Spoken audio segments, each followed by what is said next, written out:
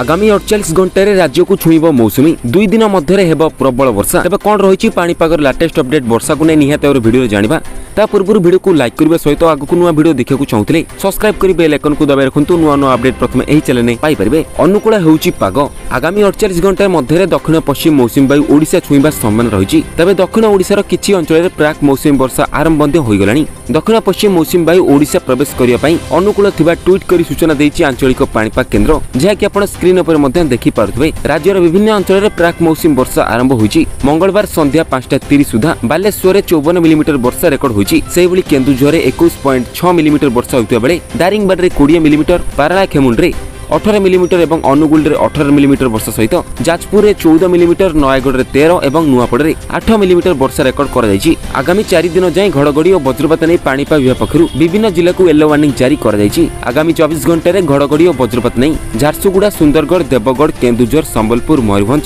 ଅନୁଗୁଳ ଢେଙ୍କାନାଳ ବୌଦ୍ଧ ରାୟଗଡ଼ା ଗଞ୍ଜାମ ମାଲକାନଗିରି କୋରାପୁଟ ନବରଙ୍ଗପୁର ଜିଲ୍ଲାକୁ yellow warning ଜାରି କରାଯାଇଛି ଏହିସବୁ ଜିଲ୍ଲାରେ ପ୍ରବଳ ବର୍ଷା ସହିତ ବଜ୍ରପାତ ମଧ୍ୟ ଆଶଙ୍କା ଦେଇଛି ପାଣିପାଗ କେନ୍ଦ୍ର ତେବେ ଆଗକୁ ଯେକୌଣସି ପାଣିପାଗ ବିଭାଗ ପକ୍ଷରୁ ନୂଆ ଅପଡେଟ୍ ଆସିବ ପ୍ରଥମେ ଏହି ଚ୍ୟାନେଲ୍ ମିଳିବ ତେବେ ସବସ୍କ୍ରାଇବ୍ କରି ବେଲ୍ ଆଇକନ୍କୁ ଦବାଇ ରଖିବେ